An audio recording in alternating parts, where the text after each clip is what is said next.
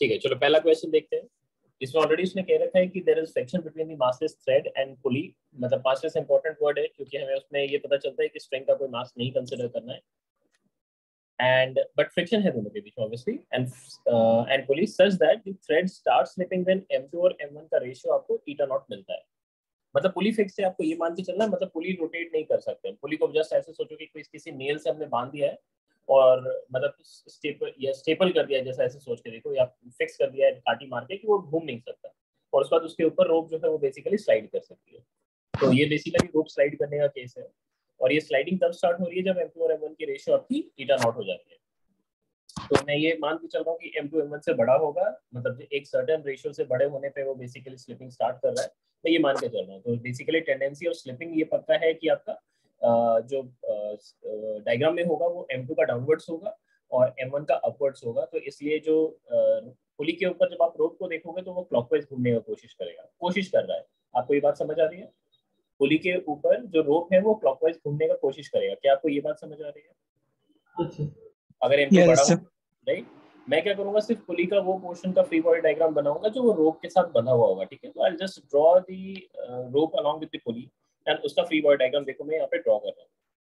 So what we have is this is pulley ये pulley है।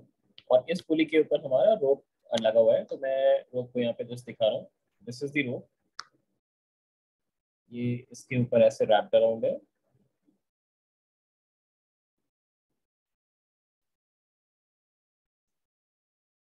ठीक है? ये है सिनेरियो आपके लिए। अब इसमें ही बेसिकली आपको करना है क्या? है आपको basically coefficient friction find out करनी है। देखो, एक चीज़ तो पता है कि अगर ये मासेस अभी just under about to slide है मतलब ये पता है मासेस तो इक्विलिब्रियम में है। और मासेस अगर इक्विलिब्रियम में है तो पता है इस एंड की जो टेंशन होगी, इसको मैं टी कह रहा हूँ तो ये किससे मैच करनी चाहिए आपकी? एम से मैच करनी चाहिए। मतलब यहाँ का जो पुलिंग फोर्स होगा, ये ऑब्वियसली आपका टी ही होगा, ठीक है? सेम लॉजिक आप इधर यूज़ करोगे तो आप इधर के लिए टेंशन T1 होगा क्योंकि वो मास अभी जस्ट अबाउट टू स्लिप है मतलब string just about to slip है बट अभी तक स्लिप नहीं किया है, इसलिए ये इक्विलिब्रियम में मासेस दोनों होने ही चाहिए। तो लेफ़्ट एंड पे जो पुलिंग फोर्स मिल रही है वो आपको T1 मिल रही है। सो लेफ़्ट एंड पे पुलिंग फोर्स है T1 राइट एंड पे पुलिंग फोर्स है T2 तो T2 आपका T1 से बड़ा है तो एक्स्ट्रा जो फोर्स चाहिए वो बेसिकली आपको फ्रिक्शन से कॉम्पेंसेट करना है। बस यही बात आपको समझ आनी चाहिए। तो मैंने यहाँ पे क्या किया, इसको थोड़ा सा जैसे लार्ज कर देते हैं ताकि आप सबको थोड़ा सा क्लैरिटी से डायग्राम दिखे। तो यहाँ पे मैं क्या कर रहा हूँ I just draw the free body diagram देखो यहाँ पे। मैं एक हॉरिजॉन्टल लाइन मार्क कर रहा हूँ। इस हॉरिजॉन्टल लाइन के अच्छा थोड़ा सा एक्सटेंड कर लेते इस हॉरिजॉन्टल लाइन से मैं लेफ़्ट की तरफ़ एंगल थीटा पे जाके एक पतला सा एलिमेंट चूज़ कर रहा हूँ, जिसका एंगुलर आपका या एंगुलर विथ डी थीटा है सेंटर पे। ठीक है? अब इस छोटे से एलिमेंट के लिए मैं just free body diagram draw करके उसके लिए इक्विलिब्रियम का कंडीशन लिखने वाला हूँ, ठीक है? आप ये चेक करोगे इस एंड पे, इस एंड पे अगर मैं टेंशन को टी दिखाता हूँ तो इस एंड पे मैं टेंशन को दिखा सकता हूँ this will be T plus D T right इस एंड का tension T plus D T D T से क्यों बढ़ाया हमने उसको? डी टी से क्यों बढ़ाया है? क्योंकि लेफ़्ट से राइट आपका थोड़ा थोड़ा थोड़ा थोड़ा करके क्या होगा आपका? टेंशन बढ़ता जाएगा। तभी तो इस लोअर एंड पे आपको टेंशन कितना मिल रहा है? T one which is M one G और इस एंड पे आपको टेंशन मिलेगा T two which is M two G तो ये अचानक से टेंशन थोड़ी ना बढ़ रहा है ग्रेजुअली बढ़ रहा है, थोड़ा थोड़ा थोड़ा थोड़ा करके आपका बढ़ता चला जाएगा। ये बात आपको सभी को समझ आ रही है? अब ये एक्स्ट्रा फोर्स जो है, ये एक्स्ट्रा फोर्स जो है मतलब जो टेंशन का जो डिफरेंस है, वो टेंशन का डिफरेंस बेसिकली क्यों आ रहा है? क्योंकि वहाँ पे एक एडिशनल फ्रिक्शन भी तो है, जो फ्रिक्शन बेसिकली उसके वहाँ पे सरफेस पे एक्ट करेगी। मतलब यहाँ से मैंने देखो यहाँ पे थोड़ा सा हाईलाइट कर देता हूँ, ये टेंशन है इधर इधर भी टेंशन दिखा रखा है। और यहाँ पे इस इस पोर्शन पे, इस पोर्शन पे एक फ्रिक्शन लगेगी जिसको मैं डी एफ़ कह रहा हूँ। ये डी एफ़ किसकी वजह से आएगी? यहाँ से नॉर्मल रिएक्शन जो जनरेट होगा उसकी वजह से आएगी। इसको मैं डी एन कह रहा हूँ। छोटे से एलिमेंटल लेंथ पे दिखा रहे हैं तो इसे एलिमेंटल लेंथ पे जो नॉर्मल रिएक्शन दिखाएँगे, वो आप डी एन दिखाएँगे। और जो फ्रिक्शन उस छोटे से एलिमेंट पे दिखा रहे हैं, उसको हम डी एफ़ से शो कर रहे हैं।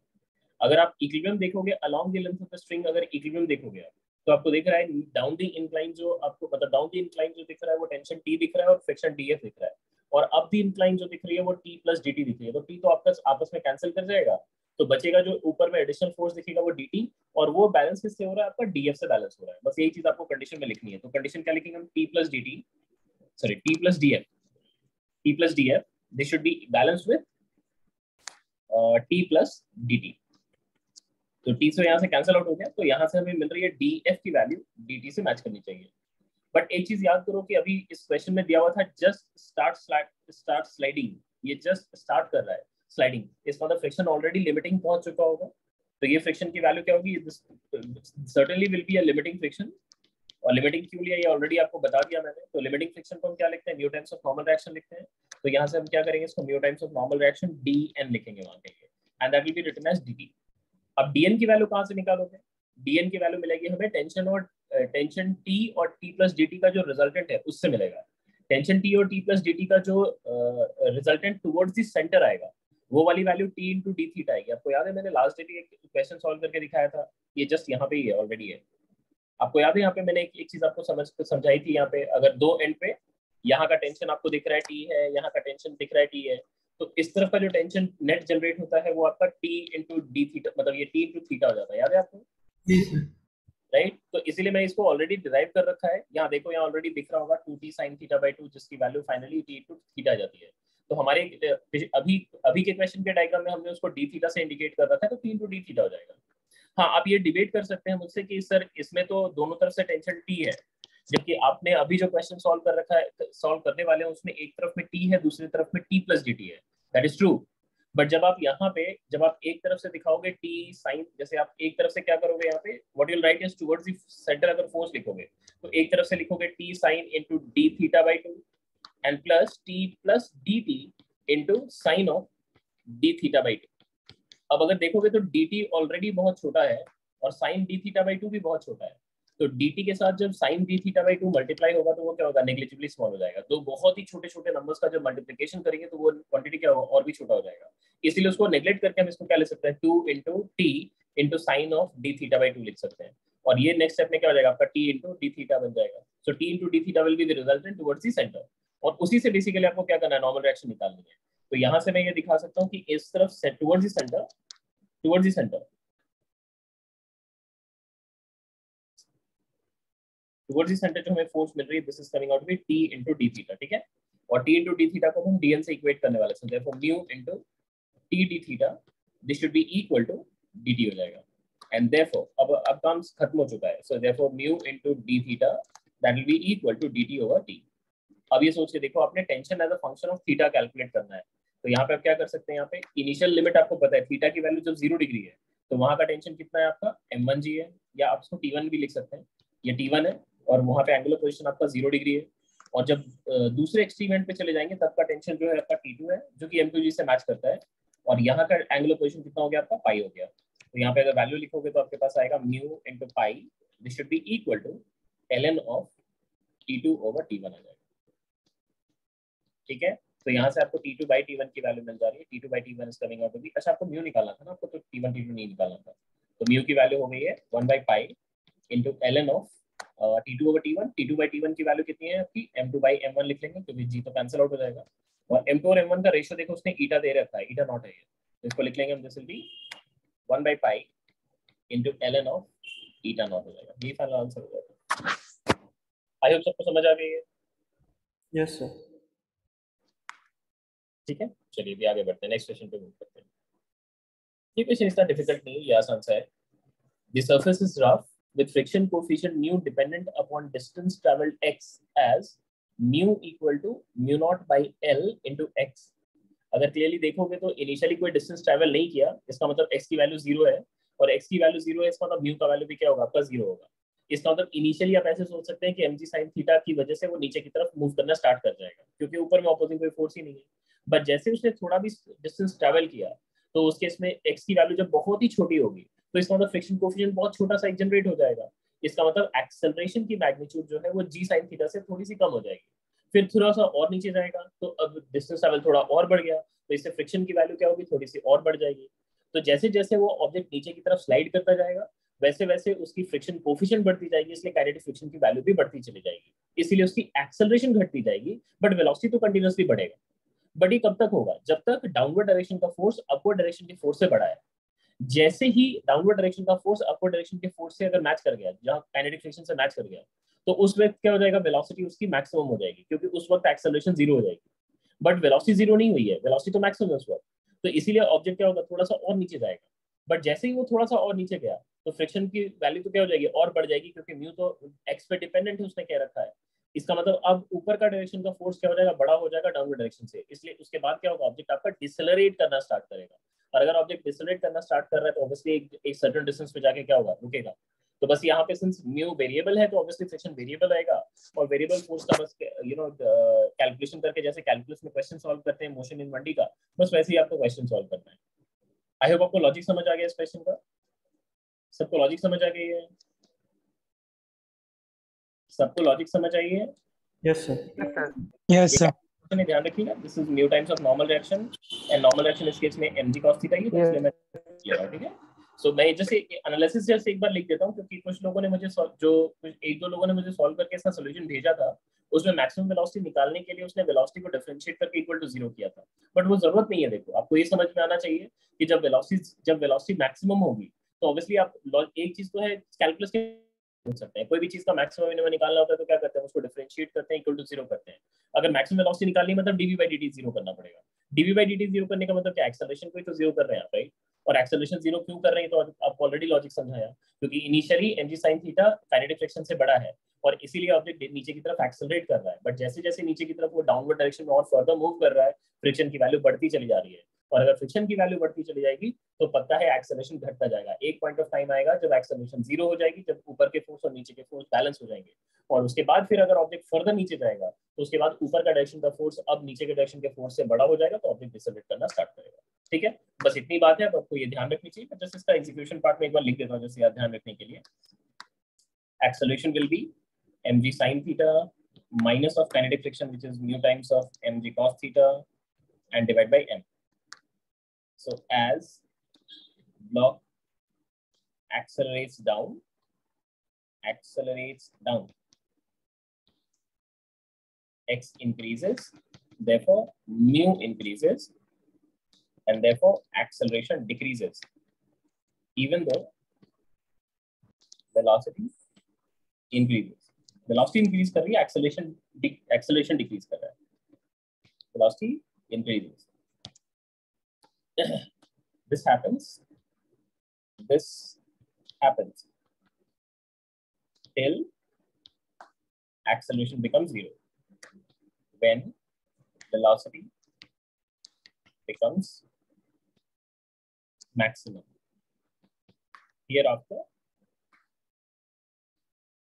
hereafter, hereafter, uh, friction becomes greater than mg sine theta, and therefore block starts decelerating.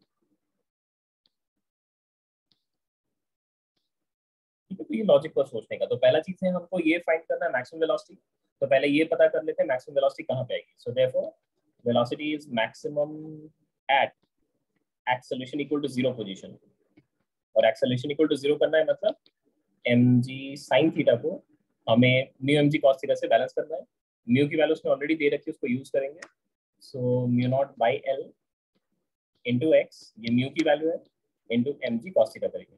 यहाँ से जी गेट्स कैंसल आउट और यहाँ से आपको एक्स की वैल्यू मिल जा रही है this is coming out to be L by mu naught theta रही है मतलब इस पोजीशन पे बेसिकली वेलोसिटी आपकी मैक्सिमम होने वाली है। तो ये रिक्वायर्ड पोजीशन है अपना जहाँ पे वेलोसिटी हमको मैक्सिमम दिखानी है। अब हम जस्ट कैलकुलेशन करने वाले हैं देखो यहाँ पे। सो देयरफॉर एक्सेलरेशन जो हमने निकाला था that was mg theta minus of uh, mu which was mu naught by l into x into mg cos theta divided by m. And that is equal to uh, v dv by dx dv by dt नहीं लिख रहे हैं v dv by dx लिख रहे हैं क्योंकि हमें velocity as a function of position पता चल जाएगा, क्योंकि x की वैल्यू तो हमको पता है कि हमें कहाँ तक लेके जाना है। तो यहाँ से m तो हट जाना है। और यहाँ से आपको मिल रही है G sine theta into D X minus of mu naught into G cos theta into X D X अच्छा यहाँ पे L V and that has to be equal to V D V कर लेंगे। अब इसको इंटीग्रेट करोगे zero से लेके वो वैल्यू कितना है? अच्छा इसको मान लेते हैं एक्स नॉट है, ठीक है? ये एक्स नॉट अज्यूम कर रहे हैं, क्योंकि फिर बाद बार लिखना पड़ेगा इसको। तो ज़ीरो से एक्स नॉट तक आपको इंटीग्रेट करना है। यहाँ पे भी ज़ीरो से एक्स नॉट तक इंटीग्रेट हो जाएगा, और ये ज़ीरो से लेके वी मैक्स तक इंटीग्रेट होगा, क्योंकि लिमिट मैंने एक्स नॉट का डाला है तो ऑब्वियसली वहाँ पे वी मैक्स ही मिलेगा आपको। तो यहाँ से अगर देखोगे तो G sine theta into x naught minus of mu g cos theta over L into x naught का square by 2 this is equal to v max का square over 2 आ जाएगा यहाँ से ये 2 हटा देते हैं कैलकुलेशन में ये 2 इधर से काट देंगे तो यहाँ पे एक एक्स्ट्रा 2 आ जाएगा so next step में अभी कैलकुलेशन फर्दर एक्सटेंड कर रहे हैं so what you getting is g sin theta into x naught x naught की value is L by mu naught into tan theta L by mu naught into tan theta minus of mu g cos theta over L into L square by mu naught square. अच्छा यहाँ भी mu naught ही होगा L by mu naught L square by mu naught square into tan square theta. tan square theta को हम लोग लिख सकते हैं sin square theta by cos square theta. एक cos theta कट जाएगा sin square theta by cos theta. cos square theta. अच्छा यहाँ पे एक टू भी था ये टू नहीं लिखना भूल गया मैं and this is equal to V max का स्क्वायर हो जाएगा यहाँ से cos थीटा तो एक कट जाएगा और यहाँ से जो आ रही है two G sine square theta by cos theta exactly same term ही है और यहाँ से एक एल कट जाएगा, यहाँ से एक म्यू नॉट कट जाएगा। तो टू माइनस वन बेसिकली आ रही है। तो ये आ रही है आपके पास G tan into sine theta into L divided by mu naught and this is V max का स्क्वायर मतलब मैक्स हो गया, इसी का स्क्वायर रूट ले लेगा इज़ वी मैक्स ये आपका पहले पार्ट का आंसर हो गया। This is the answer to the first part अब सेकंड पार्ट पे चलते हैं। सेकंड पार्ट में उसने पूछा था कि कहाँ रुकेगा शायद, ये पूछा था क्या maximum distance travel by the block block maximum distance travel by the block मतलब कि फाइनली वो रेस्ट पे कहाँ पे आएगा? तो उसमें क्या करना है? बस ये वाली जो इक्वेशन आपने लिख रखी है acceleration as a function of position जिसमें लिखा है तो वेलोसिटी की लिमिट को आपको कहाँ से कहाँ चूज़ करना है? ज़ीरो से ज़ीरो क्योंकि स्टार्ट किया था रेस्ट से एंड फाइनली जब रेस्ट पे आएगा तो वो कौन सा पोजीशन होगा आपको ये बस फाइंड करना है। तो इसीलिए जो इंटीग्रेशन का बस लिमिट है, ये ज़ीरो से एक्स नॉट जो आपने लिखा है, वहाँ पे ज़ीरो से एक्स हो जाएगा जो आपको निकालना है। यहाँ पे भी एक्स लिखेंगे और यहाँ पे वो फाइनल वेलोसिटी आपको ज़ीरो करना है। तो बस वहीं से आप फर्दर प्रोसीड करेंगे यहाँ पे। सो so, एक्सेलरेशन की वैल्यू जो हमने लिखी थी acceleration was g sin theta minus of mu naught by L into x into g cos theta and that will be equal to v dv by dx ये dx को LHS में लेके जाएँगे। सो वी डीवी का integration zero से zero तक होगा और dx के लिए g sin theta into D of mu naught into G cos theta over L into X D X और ये इंटीग्रेट करेंगे ज़ीरो से लेके x तक, और ये ज़ीरो से लेके x तक. So finally zero is equal to G sine theta into X minus of mu naught into G cos theta by L into X square over two आ जाएगा. यहाँ से ये x वाला टर्म एक हटा सकते हैं यहाँ से, ये x हट जाएगी. एंड फाइनली आपको x की वैल्यू मिल जाएगी. So x is coming out to be जो डिस्टेंस उसने ट्रैवल करा that is 2 tan theta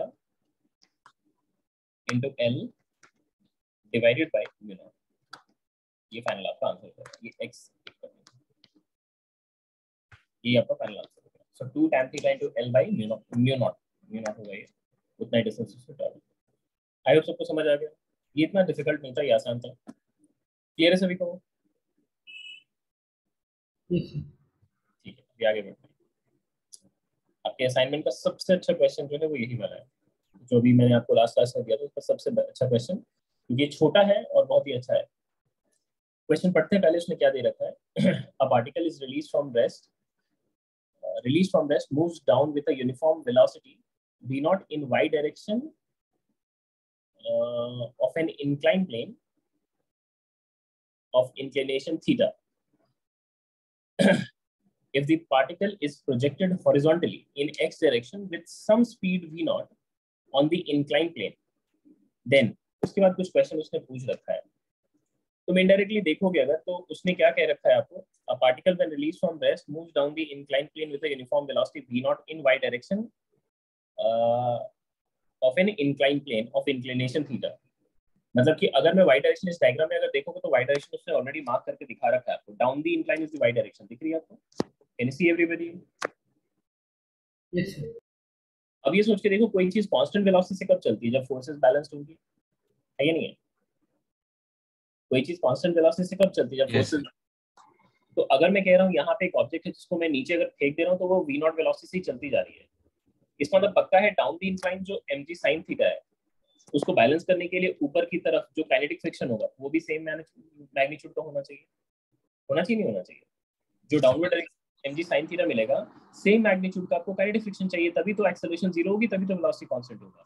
और काइनेटिक फ्रिक्शन की वैल्यू आपने क्या लिखा है? Mu times of m g cos theta अगर आप देखोगे तो mu m g cos theta को अगर हम एम जी साइन थीटा से बैलेंस करते हैं तो वैल्यू क्या मिलेगी म्यू की वैल्यू म्यू की वैल्यू कितनी मिलेगी? टैन थीटा मिलेगी? नहीं मिलेगी। मिलेगी? Right yes. तो यहाँ पे ये चीज़ जो given mu equal to tan theta है ये एक्चुअली आपको डिकोड करना था। बट यहाँ पे ठीक है यू नो ये गलती से मैंने लिख दिया वहाँ पे। बट ये चीज़ आपको डिकोड करना था। क्वेश्चन के लैंग्वेज से आपको डिकोड करना था। आई होप आप सबको ये बात समझ आ गई है ये चीज़। ठीक है ना? सबको ये बात समझ आ गई है? यस यस सर क्योंकि ये सब चीज़ें जब आप जेई एडवांस के क्वेश्चंस करते हो उस लेवल पे क्वेश्चंस करते हो तो आपको ये सब चीज़ों का थोड़ा सा ध्यान रखना पड़ेगा। कि हाँ क्वेश्चन में क्या मतलब इंटरप्रिटेशन कैसे करते हैं आप एक एक लाइन को जो पढ़ते हो? तो इस लाइन का इंटरप्रिटेशन जो हमने किया है, मैं यहाँ पे लिख देता हूँ ताकि आपको बाद के रेफरेंस के लिए याद रहे।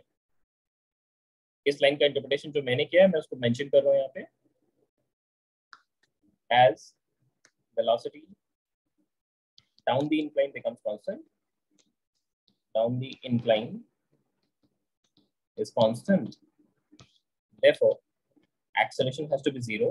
so therefore kinetic friction has to be equal to mg sine theta and therefore mu mg cos theta has to be equal to mg sin theta. तो यहाँ से बेसिकली मैंने mu निकाला है mu की वैल्यू जो मिल रही है मुझे tan theta के इक्वल मिल रही है ठीक है this was the decoding of of this problem अब आगे के पार्ट पे मूव करते हैं क्योंकि इंटरेस्टिंग पार्ट इसका नेक्स्ट पार्ट है if the particle is uh, projected horizontally in x direction with some speed v naught on the inclined plane diagram में clearly उसने दिखा रखा है कि उसको inclined प्लेन में वो v naught किधर प्रोजेक्ट कर रहे हैं।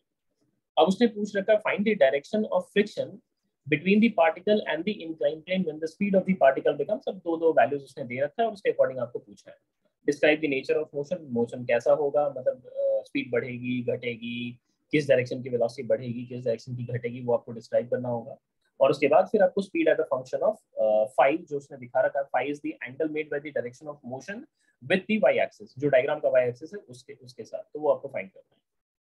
मैं इसको करता हूँ, आप देखिए यहाँ से, ध्यान से देखिए। क्योंकि ये सब क्वेश्चन ये ये कुछ ऐसे टिपिकल क्वेश्चन है जिसका कोई ऑल्टरनेटिव सोल्यूशन एग्जिस्ट नहीं करता। बाकी बहुत सारे क्वेश्चन होते हैं जिनके ऑल्टरनेटिव सोल्यूशन बहुत लोग करके दिखा सकते हैं। बट इस तरह के क्वेश्चन के लिए कोई ऑल्टरनेटिव सोल्यूशन नहीं है, आपको बस एक ही तरीके से इसको अटैक करना पड़ता है। मैं दिखाता हूँ, देखिए चेक करिए so this is our incline plane ये एंगल थीटा पे इंक्लाइंड है। एक्स एक्सिस हमने हॉरिजॉन्टल पे चूज़ कर रखा है, ये एक्स एक्सिस है हमारा and y axis down the incline choose कर रखा है। ये हमारी वाई एक्सिस है। क्वेश्चन में कह रखा उसने ओरिजिन से उसने प्रोजेक्ट किया, और प्रोजेक्शन की वक्त उसकी जो वेलोसिटी है वो बी नॉट है, ठीक है? इस पे फोर्सेस अगर आप एनालाइज करोगे तो फोर्सेस क्या क्या लगनी है? एक तो आपकी एम जी साइन थीटा लगेगी ही लगेगी m g sine theta down the incline लगेगी, ये पक्का है। तो मैं यहाँ पे एक एम जी साइन थीटा को डाउन द इंक्लाइन यहाँ पे दिखा रहा हूँ ये चेक करो मैंने यहाँ पे down the incline m g sine theta force दिखाया यहाँ पे फ्रिक्शन किधर दिखाना है मुझे फ्रिक्शन किधर दिखाना है फ्रिक्शन किधर दिखानी है Sir, in the negative y-axis. Negative, negative. Negative x-axis ना? Yes, yes. Clipping जिधर होगी उधर लगेगा ना? उसके opposite direction में. Body is slipping towards right, so friction will act towards left. इसमें क्या doubt है? इसमें क्यों confusion है? तो यहाँ पे फ्रिक्शन जो लगेगी वो किस तरफ़ लगेगी लेफ़्ट की तरफ़ लगेगी this is the kinetic friction which is acting इससे अगर देखोगे आप तो मोशन से आपको तुरंत पता चलेगा कि काइनेटिक फ्रिक्शन की वजह से उस ऑब्जेक्ट को एक्स डायरेक्शन में जो वेलोसिटी पहले वी नॉट थी वो थोड़ी सी कम हो जाएगी क्योंकि उसको डिसलरेटिंग फोर्स मिल रहा है एक्स एक्सिस में और वाई डायरेक्शन में उसके पास पहले कोई वेलोसिटी नहीं थी बट फोर्स है इसका मतलब क्या है कि वाई डायरेक्शन में उसके पास वेलोसिटी क्या होगा गेन हो जाएगा राइट ये बात समझ आ रही है आपको? Yes, ठीक है? तो इसका अगर मैं लोकस दिखाऊँ तो क्या होगा कुछ ऐसा होगा कि एक्स डायरेक्शन में इसका मोशन जो है एक्स डायरेक्शन में इसकी वेलोसिटी घटती चली जाएगी एंड वाई डायरेक्शन में इसकी वेलोसिटी बढ़ती चली जाएगी। ऐसा ही कुछ होगा। अब अगर एक चीज़ सोचोगे आप फाइनली सोचो कि क्या होने वाला है। काइनेटिक फ्रिक्शन का जो भी आ, मतलब अगर मैं किसी एक रैंडम लोकेशन पे अगर इसको कंसिडर करता हूँ लेट से कि हमारा जो पार्टिकल है वो किसी रैंडम लोकेशन पे पहुँच चुका है। लेट से वो यहाँ पहुँच चुका है। ठीक है यहाँ पे पहुँच चुका है। एक रैंडम लोकेशन है। इस रैंडम लोकेशन पे उसकी जो वेलोसिटी है वो you know obviously along the tangent हम दिखाएँगे। तो ये वेलोसिटी को मैंने वी मार्क कर रखा है। इस लोकेशन पे अगर मैं आपसे पूछूँ फोर्सेस क्या लग रहे हैं? तो फिर से हमारे पास वही सवाल होगा। सवाल का जवाब वही होगा। तो हम बोलेंगे कि एम जी साइन थीटा हमारी डाउन दी इंक्लाइन लग रही है। फ्रिक्शन किधर लग रही होगी? फ्रिक्शन फ्रिक्शन किधर लग रही होगी? Opposite to v opposite to velocity क्योंकि काइनेटिक फ्रिक्शन है तो यहाँ पे वेलोसिटी की वेलोसिटी की क्या होगा? ऑपोजिट डायरेक्शन में लगेगा। तो इस डायरेक्शन में आपने काइनेटिक फ्रिक्शन दिखा दी है करेक्ट है? अभी फिर से देखो इस फ्रिक्शन के दो कंपोनेंट है एक इधर है नेगेटिव एक्स एक्सिस की तरफ़ और एक इधर है जो कि नेगेटिव वाई एक्सिस की तरफ़ है। नेगेटिव एक्स एक्सिस की तरफ़ का जो कंपोनेंट है वो एक्स डायरेक्शन का जो वेलोसिटी है उसको क्या होगा? फर्दर घटाएगा। मतलब एक्स डायरेक्शन का जो वेलोसिटी है वो कंटिन्यूसली घटता ही जाएगा ये पक्का है घटता ही जाएगा। एक पॉइंट ऑफ़ टाइम आएगा जब वो एक्स डायरेक्शन का वेलोसिटी ज़ीरो भी हो जाएगा। अगर एक्स डायरेक्शन का वेलोसिटी ज़ीरो हो गया उसके बाद क्या होगा? इसका मतलब है उस उस केस में मैं कह सकता हूँ कि वेलोसिटी ऑलमोस्ट ऐसी हो जाएगी डाउन द इंक्लाइन हो जाएगी उस इंस्टेंट पे। होगी down the incline yes sir और अगर डाउन द इंक्लाइन वेलोसिटी होगी तो फ्रिक्शन किधर लगेगा? Up the incline up the incline अब ये सोचो वेलोसिटी डाउन द इंक्लाइन है mg sin theta down the incline है और याद है आपको काइनेटिक फ्रिक्शन खुद mg sin थीटा के इक्वल था? आपको याद है?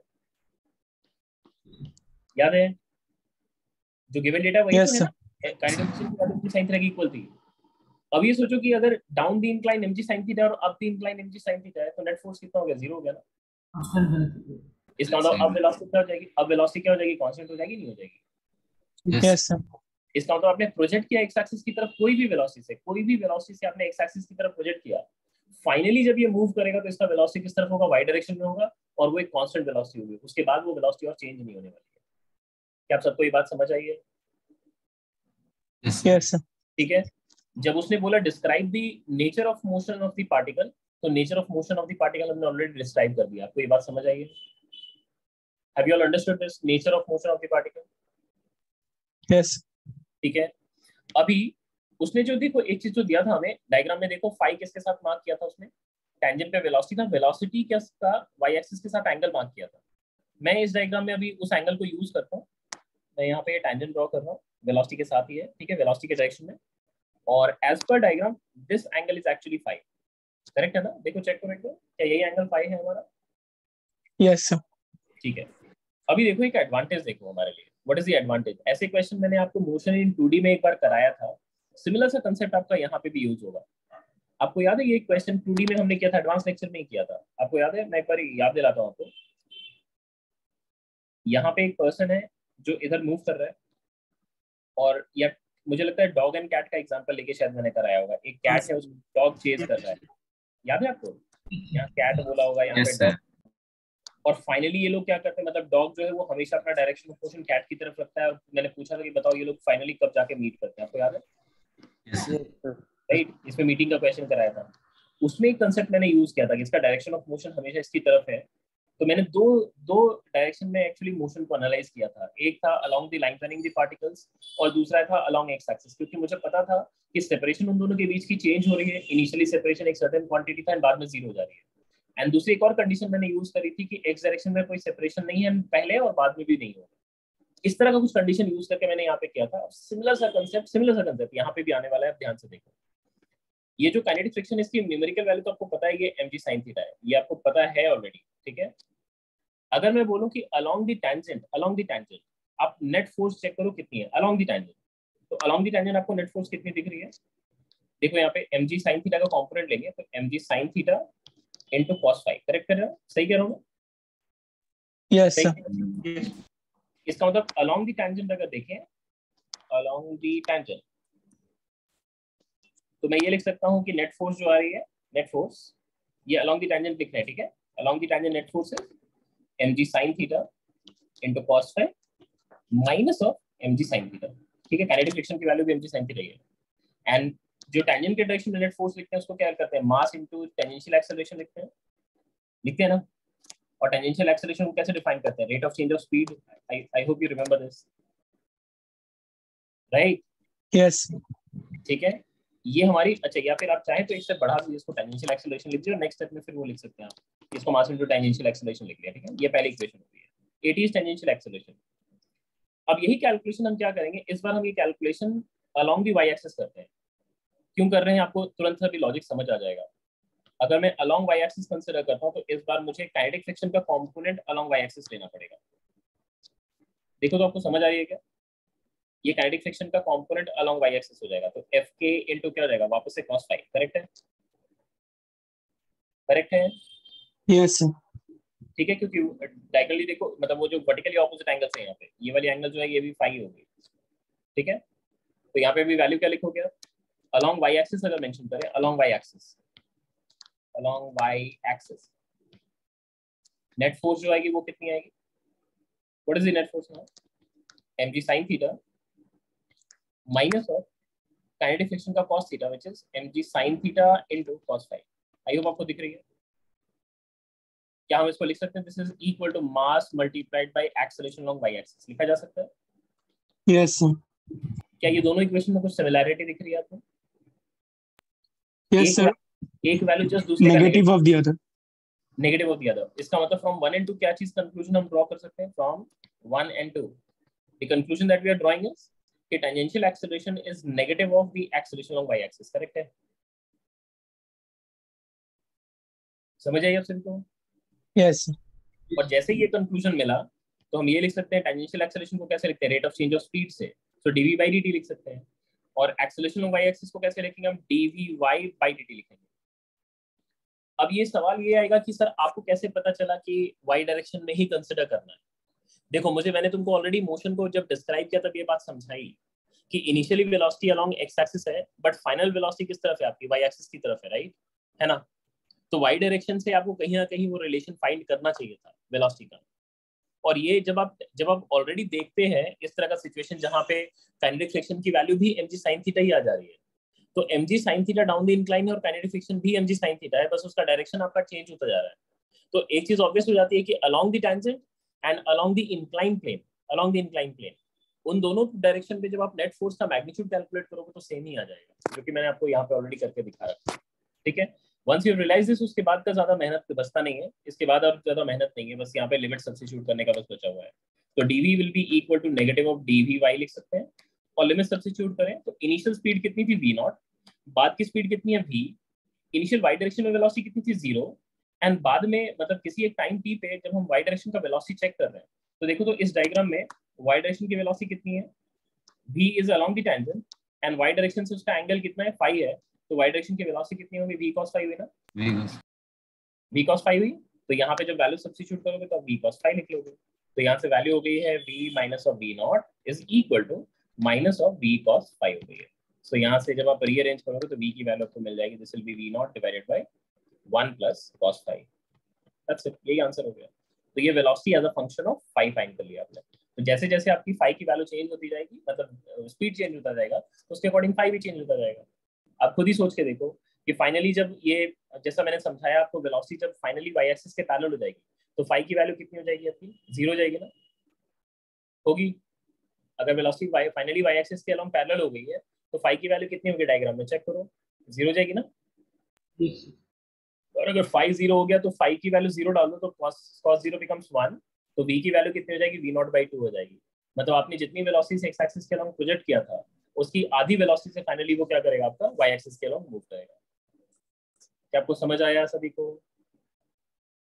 ठीक है? अब इस क्वेश्चन का पार्ट पे आ जाते हैं। क्या क्या उसने पूछा था? Find the direction of friction between the particle and incline plane when the speed of the particle will be 3 v nought by 4 and v nought by 2 ये तो बहुत ही आसान सा क्वेश्चन है, क्योंकि फ्रिक्शन का डायरेक्शन फ्रिक्शन का उसने डायरेक्शन पूछा है वाई एक्सिस के साथ तो इजीली फाइंड कर सकते हैं आप, क्योंकि ये तो क्लियरली फाई ही निकालना है। तो फाई निकालने के लिए बस यहाँ पे बी की वैल्यू को सब्सिट्यूट करो और फाई की वैल्यू निकाल लो यहाँ से। यहाँ से अगर देखोगे तो फ़र्स्ट पार्ट को सॉल्व करने के लिए हम क्या कर सकते हैं यहाँ से? This is solution for the first part cos phi की वैल्यू को डायरेक्टली निकाल लेते cos phi की value is coming out to be v nought minus v over v ये डायरेक्टली निकाल लेंगे। तो ये शायद पार्ट ए था शायद part A sorry part A के दो क्वेश्चन थे। पार्ट ए का पहला वन पहला वाला। बी की वैल्यू उसने दे रखी है three V nought by four तो three V nought by four substitute करोगे तो कॉस फाइव की वैल्यू आपको मिल जाएगी। V nought minus of three V nought by four so V nought by four and यहाँ से आ जाएगा three V nought by four so this becomes one by three तो फाइव की वैल्यू आपकी cos inverse one by three होनी चाहिए। Second part के लिए उसने बी की value V nought by two दे रखी है। बी की value V nought by two और जैसे मैंने बी की value V nought by two डाल दी तो कॉस फाइव की वैल्यू आपको मिलेगी। कॉस फाइव आ रही है आपके पास V nought minus of V nought by two मतलब वी नॉट बाई टू ही हो जाएगा न्यूमरेटर में। And divided by V nought by two मतलब ये वन हो गया। एंड देयरफॉर आपका फाइव का वैल्यू इस केस में आपका ज़ीरो डिग्री हो जाएगा। ठीक है? फिर और क्या पूछा था? Describe the nature of motion nature of motion already describe कर दिया मैंने फिर भी लिख देता हूँ आप सबको ध्यान रखने के लिए। So as we can see there is a component of kinetic section, kinetic friction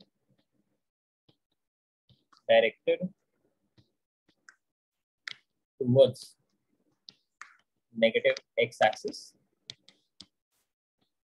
which makes the x component of velocity decrease continuously. S component of velocity decrease continuously, which makes the x component of velocity decrease continuously. And once Vx becomes zero, the velocity will be along y-axis will be along y-axis. And hence, friction will be along opposite to mg sine theta and numerically equal to mg sine theta. Numerically equal to mg sine theta and therefore the net acceleration becomes zero and therefore velocity becomes constant. That's it. I hope सबको ये motion समझ आ गई मैंने जो describe किए motion समझ आ गई सभी को ना? प्लीज़ एक बार कंफर्म कर दीजिए सभी। यस सर यस ठीक है। अभी लास्ट में उसने एक ग्राफ भी प्लॉट करने के लिए बोला था। वी अगेंस्ट फाइव ये थर्ड पार्ट था हमारा। V की वैल्यू अगर आप चेक करोगे तो हमने निकाला था v nought divided by one plus cos five हमने कैलकुलेट करे थे। ठीक है? तो यहाँ पे अगर आप देखोगे तो फाइव की वैल्यू को अगर हम इंक्रीज करते हैं तो इसका मतलब है कॉस फाइव का वैल्यू तो डिक्रीज करेगा, क्योंकि एंड कोसाइन फ़ंक्शन है ये। और कॉस फाइव डिक्रीज करेगा, इसका मतलब यहाँ पे ये तो डिनोमिनेटर में cos one plus cos five denominator में है। और अगर कॉस फाइव को आप डिक्रीज कर रहे हो तो मतलब ओवरऑल वैल्यू क्या होगा? आपका इंक्रीज करेगा। सो देखो वेलोसिटी की वैल्यू क्या होनी चाहिए आपकी इंक्रीज करनी चाहिए। और ये हमने तो देखा ही कि फाइनली फाइव की वैल्यू क्या हो रही थी? घट रही थी, बढ़ नहीं रही थी, क्योंकि वो वाई एक्सिस के साथ एंगल मेजर्ड वाज फाइव तो फाइनली फाइव की वैल्यू घटेगी तो फाइव की वैल्यू घटेगी इसका मतलब क्या होगा आपका? बी का वैल्यू डिक्रीज करेगा। क्योंकि ये इसमें हमने जो कंक्लूजन ड्रॉ किया है फाइव इंक्रीज करने से बी की वैल्यू इंक्रीज करेगी। वो लॉजिक हमने यूज़ किया है ठीक है? तो यहाँ पे जब आप इसको प्लॉट करोगे ये बी ले रहे हो अगेंस्ट फाइव प्लॉट कर रहे हो। ऑब्वियसली आप फाइव बाई टू के बियॉन्ड इस ग्राफ को प्लॉट नहीं कर सकते क्योंकि स्टार्टिंग uh, में ये फाइव की वैल्यू फाइव बाई टू थी एंड uh, जब स्टडी स्टेट आएगा तब ये ज़ीरो हो जाएगा। तो ग्राफ जो होगा वो आपका बाउंडेड होगा between zero and five by two ठीक है? ज़ीरो से फाइव बाई टू के बीच में इसको बाउंडेड होना ही होना है। तो ज़ीरो पे अगर हम कैलकुलेट करेंगे ज़ीरो डिग्री पे तो ये वैल्यू कितनी आएगी? कॉस ज़ीरो डाल दो आप कॉस ज़ीरो वन हो जाएगा तो इसका मतलब वी नॉट बाई टू आ जाएगा। तो ये वैल्यू कितनी होगी? ज़ीरो डिग्री पे बेसिकली इसकी वैल्यू जो होनी चाहिए, वो वी नॉट बाई टू होनी चाहिए। और जब आप पाई पे जाओगे पाई पे जाओगे, तब आपको वैल्यू कितनी मिलनी चाहिए आपको? पाई पे जो वैल्यू मिलनी चाहिए, वो कितनी मिलनी चाहिए? वो आपको मिलनी चाहिए वी नॉट की पाई बाई टू पे। This will be V nought at pi by two cos cos pi by two आपका कितना हो जाएगा? आपका वन हो जाएगा। हाँ आपको ये पूछ सकता है कि सर इसकी कंकेविटी अपवर्ड्स क्यों है? डाउनवर्ड्स क्यों नहीं है? क्योंकि लीनियर नहीं होगा, ये तो ऑब्वियस है। बट या तो दो ही पॉसिबल ऑप्शन से या तो आप अपवर्ड कनकेविटी ड्रॉ करते हैं या डाउनवर्ड कनकेविटी ड्रॉ करते हैं। अब उसको, उस उस चीज़ को आप रिमूव कर सकते हैं। कनकेविटी का साइन डिसाइड करना बहुत ही आसान काम है। आप बस डीवी बाई डी कर लो। आप चेक कर लो कि वो पॉजिटिव आ रही है नेगेटिव आ रही है। अगर dV by d five positive आ रही है, इसका मतलब क्या है आपका? स्लोप पॉजिटिव होगा राइट है ना? Right dV by d five आपका स्लोप क्या आएगा? पॉजिटिव आएगा। अब स्लोप पॉजिटिव आने के लिए तो यहाँ पे अगर देखोगे अगर मैं ऐसा ग्राफ ड्रॉ करूँगा तो भी स्लोप पॉजिटिव है। अगर मैं ऐसा ग्राफ ड्रॉ करेंगे तो भी तो स्लोप पॉजिटिव है। तो उससे कनकेविटी डिसाइड नहीं होगी। कनकेविटी डिसाइड करने के लिए आपको क्या करना पड़ेगा? उसका सेकंड ऑर्डर डेरिवेटिव लेना पड़ेगा। और सेकंड ऑर्डर डेरिवेटिव लेने के बाद फिर आप डिसाइड करोगे कि कनकेविटी आपकी पॉजिटिव आनी है नेगेटिव आनी है। एक बार मैं करके दिखा देता हूँ इनकेस आप आप इंटरेस्टेड हो मुझे लगता नहीं है बट फिर भी ठीक है। एक बार मैं करके दिखा देता हूँ। फॉर डिसाइडिंग कनकेविटी ये मैं आपके ऊपर खुद ही छोड़ देता हूँ, खुद से ट्राई कर लीजिएगा ठीक है? फॉर डिसाइडिंग कनकेविटी आपको बस ये चेक करना है सेकेंड ऑर्डर डेरिवेटिव जो है, इसमें देखो इसका स्लोप जो है, अगर कंटिन्यूसली बढ़ता है कंटिन्यूसली बढ़ता है तो उसका सेकंड ऑर्डर डेरिवेटिव क्या होगा? आपका पॉजिटिव होगा, क्योंकि rate of change of slope आपका पॉजिटिव है। तो इसलिए सेकंड ऑर्डर डेरिवेटिव अगर पॉजिटिव हुई तो अपवर्ड कनकेविटी आएगी। तो आपको क्या लिखना है यहाँ पे? D two V divided by five two should be positive for upward concavity तो बस ये चेक करना कि पॉजिटिव आ रही है नेगेटिव आ रही है। ठीक है? आप उसको डिफरेंशिएट करके खुद से चेक कर लेना। मैं इसको छोड़ रहा हूँ। चलिए नेक्स्ट क्वेश्चन पे करते हैं। ये थोड़ा सा आसान था। क्वेश्चन जानबूझ के कैसे मिक्स करके रखा हुआ था। थोड़ा सा एक आसान करें आप तो फिर थोड़ा सा एक आपको डिफ़िकल्ट मिले। फिर थोड़ा सा आसान, फिर थोड़ा सा डिफ़िकल्ट वैसे करके। तो आपको फील गुड कराने के लिए ज़्यादा परेशान करने के लिए नहीं।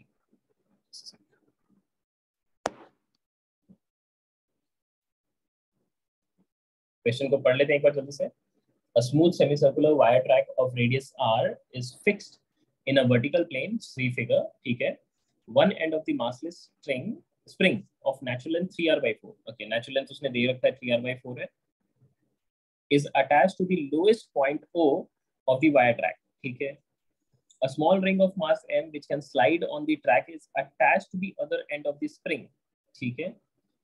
The ring is ring का mass दिया हुआ है ये मैं मेंशन कर देता हूँ यहाँ पे the ring is held stationary at point P मतलब पकड़ के रखा हुआ है such that the spring makes an angle 60 degree with the vertical ठीक है स्प्रिंग का इंक्लिनेशन भी दे रखा है फिर कह रखा है स्प्रिंग कांस्टेंट की वैल्यू mg by r है consider the instant when the string is spring is इस क्वेश्चन का पूरा पार्ट नहीं अच्छा है तो।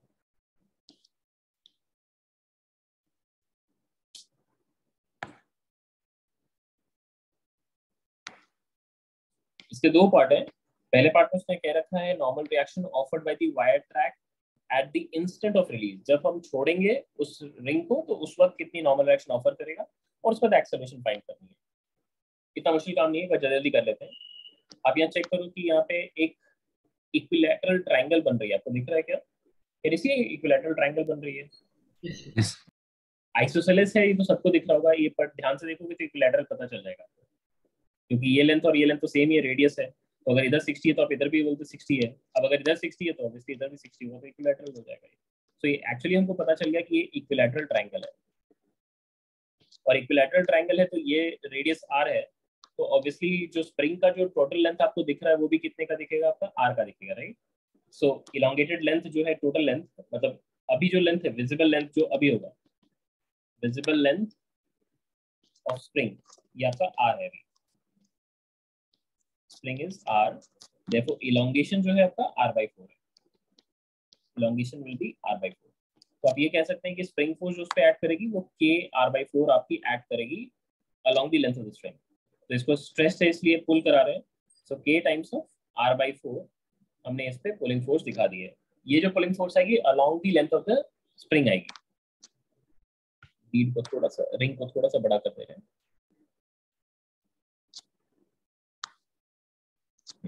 तो ये हमने के आर बाई फोर का स्प्रिंग फोर्स लगाया है। एक वर्टिकली डाउनवर्ड डायरेक्शन में आपका एम आएगा। और ये एम का इधर के साथ जो एंगल है, वो आपका सिक्सटी डिग्री का है। और एक नॉर्मल रिएक्शन आएगा। ये नॉर्मल रिएक्शन आपका टुवर्ड्स दी सेंटर दिखा रखा है, क्योंकि normal reaction perpendicular to surface होता है। और रिंग के सर्कमफरेंस पे आप कहीं पे भी अगर आप नॉर्मल ड्रॉ करेंगे तो ऑब्वियसली वो टुवर्ड्स दी सेंटर ही पास करेगा। अब उसने नॉर्मल रिएक्शन पूछा है। पहली चीज़ ये देखो कि ये जो रिंग है मतलब जो वायर के ऊपर जो रिंग एम्बेडेड है, उसका लोकस क्या है? सर्कुलर है। और कोई भी चीज़ अगर सर्कुलर पाथ में मूव कर रही है तो उसके पास दो कंपोनेंट ऑफ़ लीनियर एक्सेलरेशन हो सकते हैं, एक है सेंट्रीपिटल और एक है tangential centripetal acceleration instantaneous velocity पे डिपेंड करती है, जिसको हम v स्क्वायर बाय r लिखते हैं। तो अभी तो वेलोसिटी ज़ीरो है, इस इंस्टेंट पे वेलोसिटी ज़ीरो है तो हम डेफिनेटली कह सकते हैं कि सेंट्रीपिटल एक्सेलरेशन आपकी ज़ीरो रहेगी। और सेंट्रीपिटल एक्सेलरेशन ज़ीरो है मतलब net force towards the centre अगर आप कैलकुलेट करेंगे तो पक्का है वो ज़ीरो मिलनी चाहिए आपको। तो अब यहाँ पे क्या करेंगे आप, जैसे ही सेंट्रीपिटल एक्सेलरेशन हमने ज़ीरो देखा, हमने कंसेप्चुअली ये यूज़ किया since locus is circular locus is circular centripetal acceleration निकालेंगे तो वो वी स्क्वायर बाई आर लिख सकते हैं और ये ज़ीरो होना चाहिए at instant of release at instant of release and therefore net force towards the centre भी आपका ज़ीरो रहना पड़ेगा। तो net force towards the centre कितना है? Normal reaction towards the centre है और के आर के आर बाई फोर का एक कॉम्पोनेंट आएगा, cos 60 आएगा। तो normal reaction plus K R by four into cos sixty that should be equal to अभी mg का कंपोनेंट भी आप देखो अलोंग दी जो टुवर्ड्स द नॉर्मल आएगा, वो mg cos 60 आएगा। तो यहाँ से लिख सकते हैं this is equal to mg into cos of 60 degree लिख दिया। अब यहाँ पे उसने ऑलरेडी दे रखा है k का वैल्यू देखो उसने दे रखा है k is mg by r तो k को अगर आप mg by r से यूज़ करते हो तो यहाँ से नॉर्मल रिएक्शन की वैल्यू आपको मिल जाएगी। This will be mg by 2 तो आ रही है यहाँ पे। एंड यहाँ से आएगी आपके पास minus of 1 by 8 times of mg हो जाएगी। तो ये वैल्यू हो गई आपके पास हाफ़ माइनस 1 by 8 तो यहाँ पे एलसीएम ले लिया एट हो गया। 4 माइनस 1 मतलब 3 3 by 8 टाइम्स ऑफ़ mg ये आपका पहले पार्ट का आंसर हो गया. आई होप सबको समझ आ गई. ये तो इतना डिफ़िकल्ट क्वेश्चन नहीं था. समझ आ गई सभी को? अरे हाँ या ना तो बोल दो समझ आ गई है सभी को? ठीक है अभी पार्ट पे आते हैं. Acceleration of the ring at the instant of release acceleration अब आपको पता है किसकी वजह से आएगा? टेंजेंशियल फोर्स की वजह से आएगा। टेंजेंशियल फोर्स आपको कैलकुलेट करना पड़ेगा कि टेंजेंट के अलोंग कितने फोर्सेस आपको अवेलेबल है यहाँ पे। तो टेंजेंट के अलोंग अगर आप लाइन मार्क करोगे, ये मैंने टेंजेंट मार्क किया है। इस लाइन के साथ अगर आप एंगल्स ध्यान से देखोगे आप,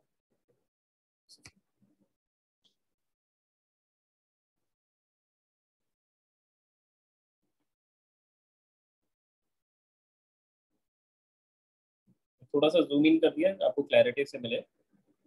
आप ये चेक करो टेंजेंट और नॉर्मल तो आपके 90 डिग्री पे होते हैं। तो नॉर्मल रिएक्शन का स्प्रिंग के साथ एंगल 60 डिग्री है तो ऑब्वियसली यहाँ पे ये जो एंगल होगी ये 30 होगी करेक्ट है? करेक्ट है क्या? yes sir. तो क्या ये एंगल भी 30 होगी चेक करो। Should this angle also be 30 degree yes sir. ठीक है? अब देखो बस आपको इस पिंक वाली लाइन के अलावा आपको बस कंपोनेंट ब्रेक कर लेनी है ठीक है? तो कंपोनेंट ब्रेक करें एक बार। तो कंपोनेंट इस तरफ़ कितनी आएगी? What will this component be इस तरफ़ का जो कंपोनेंट आएगा, वो कितना आएगा? एक है के आर बाई फोर उसका कॉस थर्टी हो जाएगा, और एक एमजी है, उसका भी कॉस थर्टी हो जाएगा राइट तो उसकी वजह से क्या मिलेगा? आपको टेंजेंशियल एक्सेलरेशन मिलेगा। सो दी टेंजेंशियल एक्सेलरेशन जो आने वाली है, वो अलोंग दी टेंजेंट आएगी obviously this is the tangential acceleration और ये एक्सेलरेशन ही हम कैलकुलेट करने वाले हैं। ठीक है? अब यहाँ पे बस न्यूमेरिकल वैल्यूज़ का लिख लेते हैं। So net force along the tangent F net along tangent. That will be equal to mass multiplied by tangential acceleration. So this becomes k r by 4 into cos of 30 degree plus mg into cos of 30 degree and that should be equal to mass multiplied by tangential acceleration. kr की value आपको already पता है mg है substitute कर दीजिए so, mg by 4 and plus 1 मतलब 5 mg by 4 into cos 30 which is root 3 by 2 this should be equal to mass into tangential acceleration m gets cancelled out and आपको tangential acceleration की value मिल गई this is coming out to be 5 root 3 divided by 8 into g ये final answer है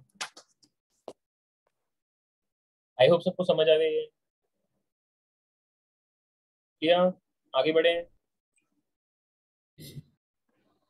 आगे बढ़े Yes, sir.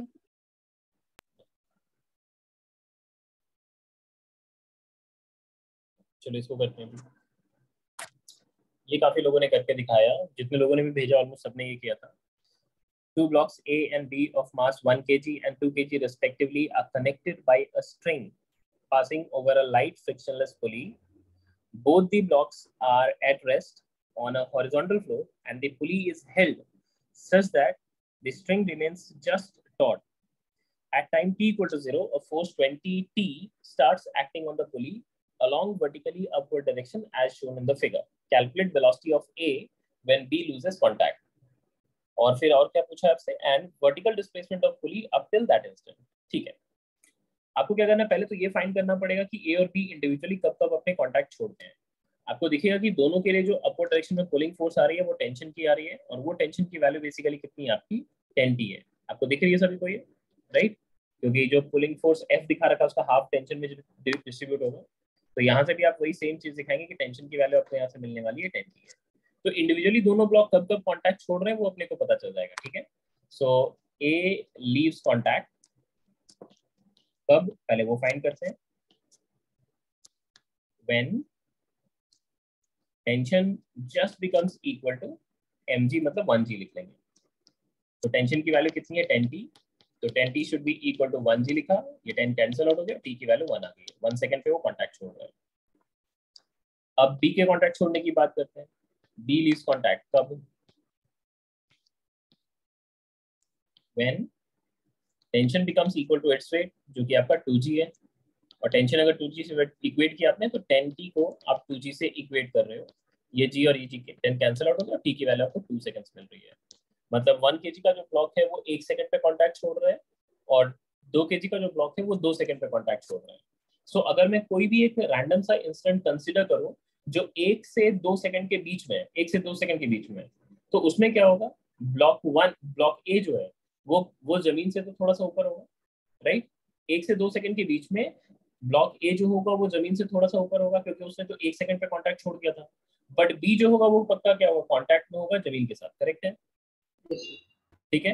तो मैं इसको ड्रॉ कर रहा हूँ for T greater than equal to one second and less than और इक्वल टू टू सेकेंड्स मैं इस ड्यूरेशन के लिए ग्राफ को मतलब ग्राफ नहीं बेसिकली सिचुएशन को ड्रॉ कर रहा हूँ।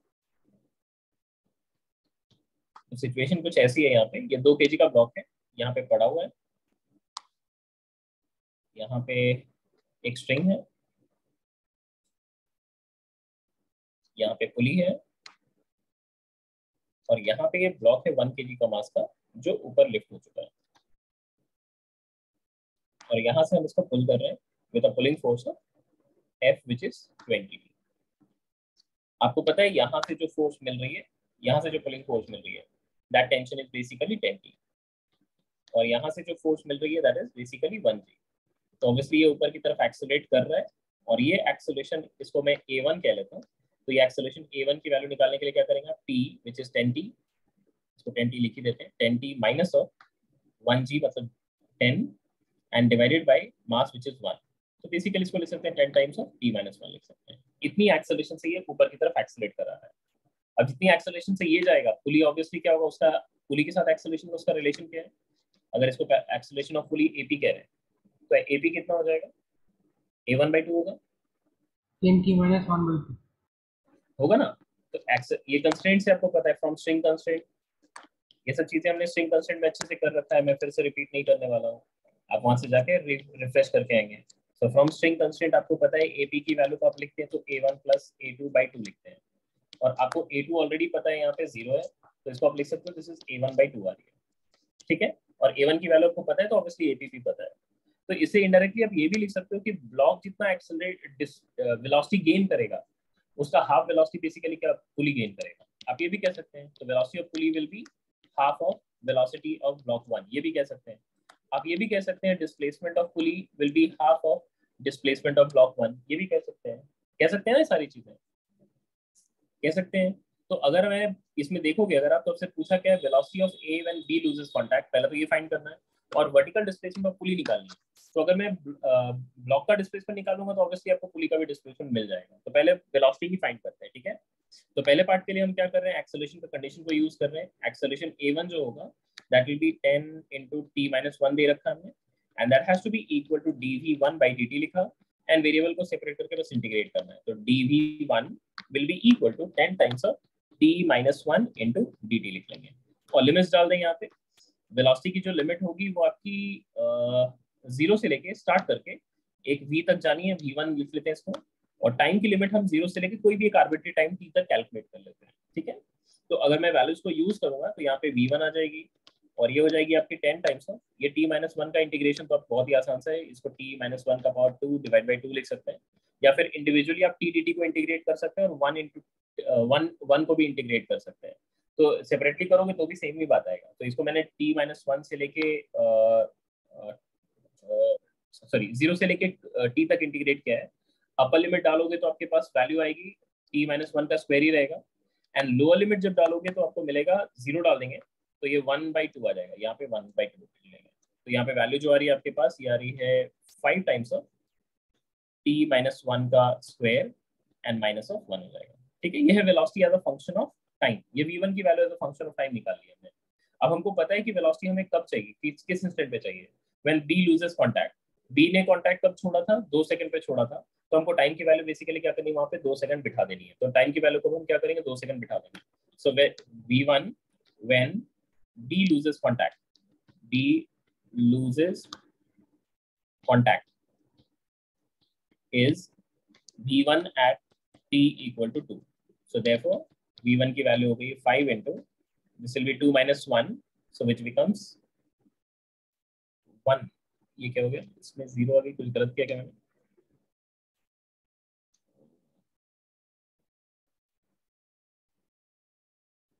कुछ कैलकुलेशन मिस्टेक किया क्या?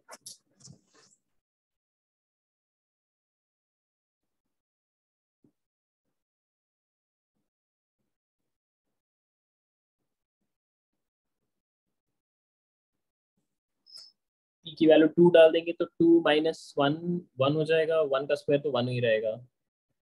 और फिर माइनस वन करेंगे तब तो ज़ीरो आ जाएगा। वेलोसिटी ज़ीरो तो नहीं है। वेलोसिटी तो गेन किया उसने। वन सेकंड पे कांटेक्ट छोड़ा था, उसके बाद तो एक्सेलरेट करके गया था कंटिन्यूसली ये कैलकुलेशन का मिस्टेक हो गई। Just 10 times of t minus 1 कितनी जाएगा?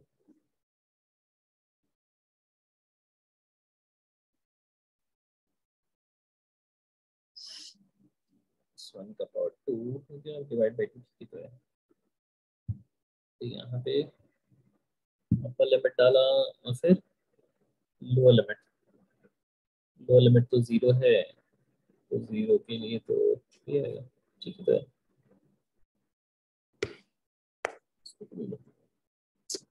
एक मिनट जस्ट सेकंड एक बार जस्ट कैलकुलेशन चेक कर लेते हैं।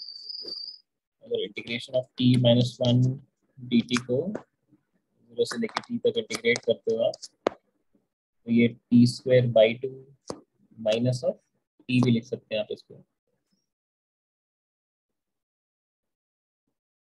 ठीक है। यहाँ से भी देखें तो इधर से भी क्या सेम आ रही है? T square plus one minus of two T minus one divide by two ये वन वन कैंसिल आउट हो गई है। और ये आ रही है T square minus of two T by two ठीक है तो आ रही है ये तो आ रही है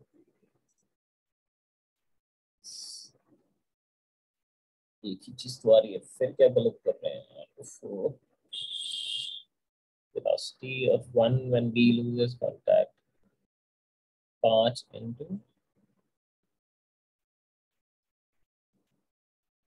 two minus one is one only. One का square is one.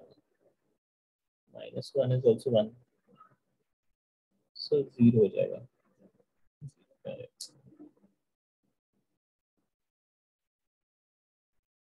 I've taken time to be greater than 1 sir sir वहाँ पे कैलकुलेशन में आपने वो क्या किया? After integration of T minus one D T वो आपने उसका इंटीग्रेशन का आपने T minus one whole square by two वो लिखा है?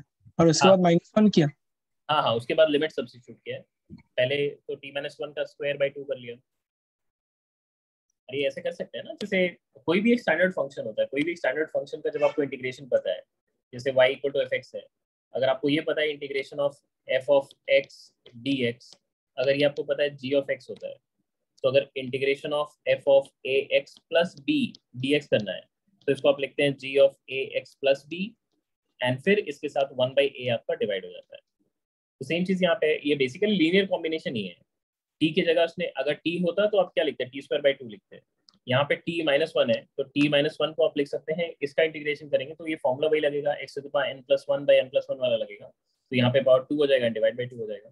उसके बाद आप लिमिट डालेंगे ज़ीरो से लेकर टी तक लिखेंगे ये तो टी अगर डालोगे लिमिट तो यही आएगा। और ज़ीरो डालोगे तो यहाँ पे तो हाफ़ आएगा। ये इससे कंफर्म भी हो रहा है, यहाँ पे भी सेम ही चीज़ आ रही है तो कुछ गलत नहीं कर रहे हैं बट मैं ये सोच रहा हूँ इसमें ज़ीरो कैसे आ जा रहा है? ज़ीरो आने का कोई पॉसिबिलिटी ही नहीं है। क्योंकि एक्सेलरेशन जो है वो वन से लेकर टू सेकेंड्स के बीच में पॉजिटिव क्वांटिटी है। और एक्सेलरेशन पॉजिटिव होगा और वेलोसिटी इनिशियली ज़ीरो है तो वेलोसिटी बढ़ के आपका नॉन ज़ीरो क्वांटिटी पे ही जाएगा। बट मैं ये सोच रहा हूँ कि गलती कहाँ कर रहे हैं? गलती भी नहीं मिल रहा। तो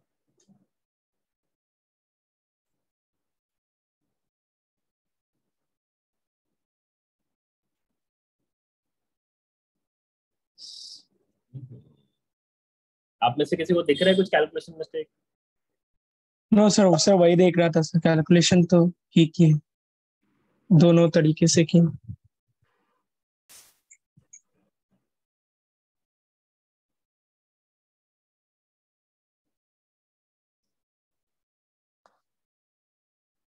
अच्छा मुश्किल है तो क्या प्रॉब्लम हो रहा है?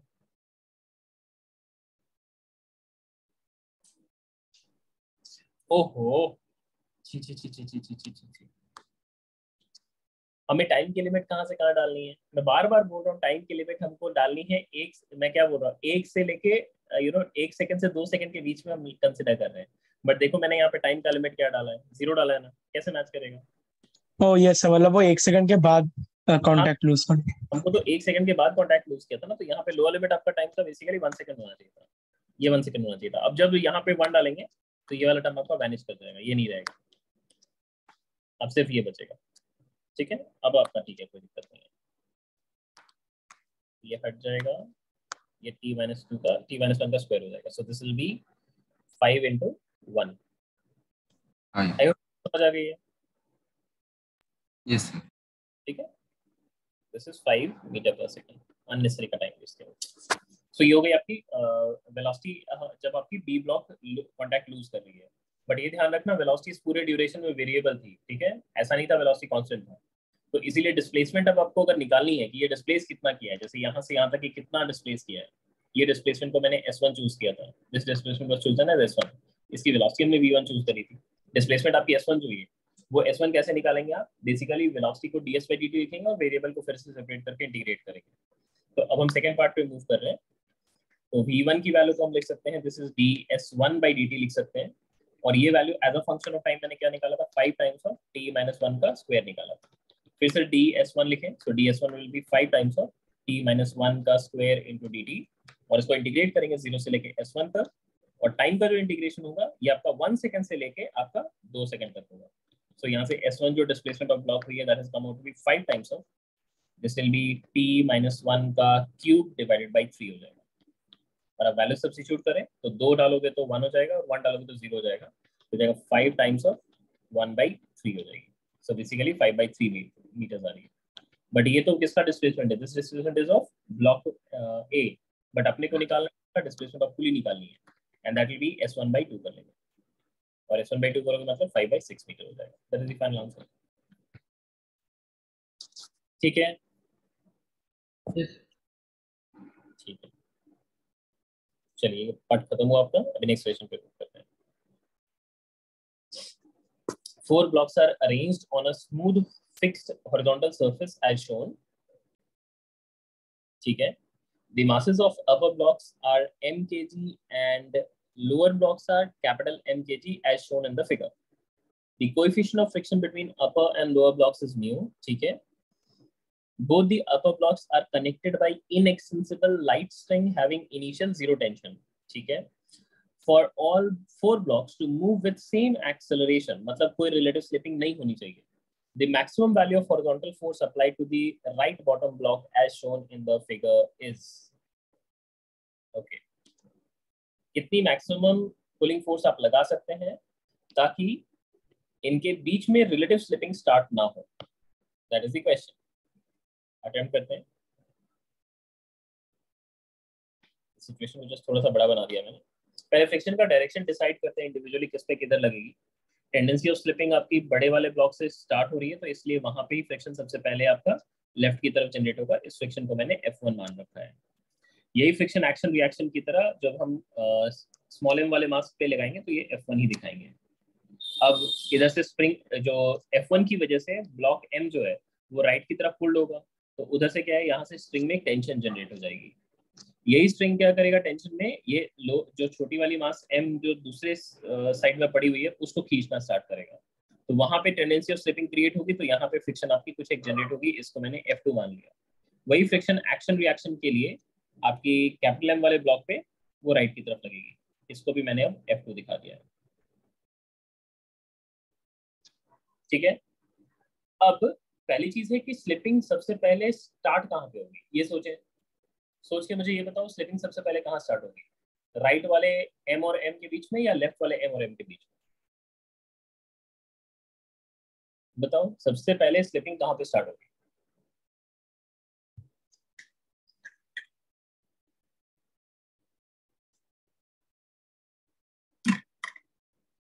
कॉज एंड इफ़ेक्ट आप ढूंढो तो आपको पता चल जाएगा। देखो, अगर मान लेते हैं स्लिपिंग नहीं हो रही है, अगर स्लिपिंग नहीं हो रही है तो पूरे सिस्टम में कॉमन एक्सेलरेशन होगा।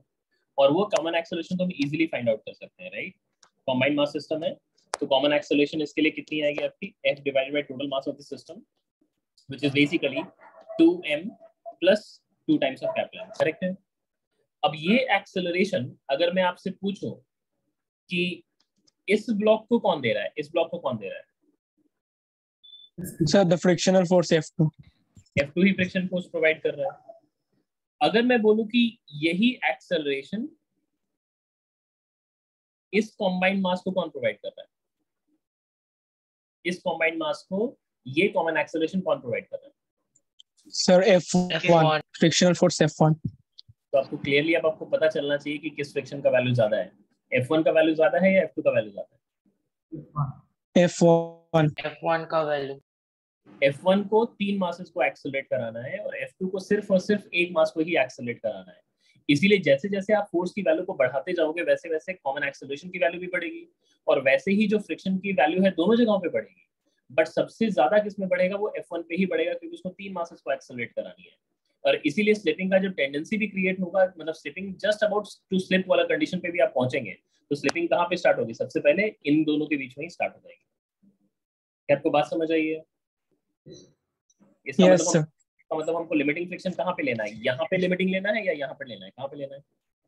Sir right side F1 I hope समझ आ गई लॉजिक ठीक है? क्योंकि क्वेश्चन में तो उसी के बेसिस पे ही आंसर आएगा ना। तो इसलिए आपको ये चीज़ का थोड़ा समझ के करना है। ठीक है? तो मैं ये मेंशन कर देता हूँ मैंने क्या लॉजिक यूज़ किया है। इनको एक, एक काम करते कुछ नाम देते हैं। इसको मैं ए कह लेता हूँ। इसको बी कह लेता हूँ। इसको सी और इसको डी कह लेता हूँ। ठीक है? So for B F2 is cause of acceleration. Cause of acceleration. Therefore, F2 will be capital M into AC. For A plus B plus C system, F1 is cause of acceleration. F1 is cause of acceleration. Therefore, F1 should be equal to 2m plus m multiplied with common acceleration. So therefore, as f is increased, common acceleration will increase and therefore F1 will attain limiting value first. Attain limiting value first. Therefore, अब आप क्या करेंगे? F1 की value जो limiting value है उसको आप क्या करेंगे? 2m प्लस m इसके साथ आप कॉमन एक्सेलरेशन की मैक्सिमम वैल्यू को मल्टीप्लाई कर देंगे। F1 की लिमिटिंग वैल्यू कितनी हो जाएगी? Mu times of normal reaction वहाँ का तो इन दोनों के बीच का नॉर्मल रिएक्शन तो आपको दिख ही रहा है यहाँ पे कितना आएगा? स्मॉल एम आएगा।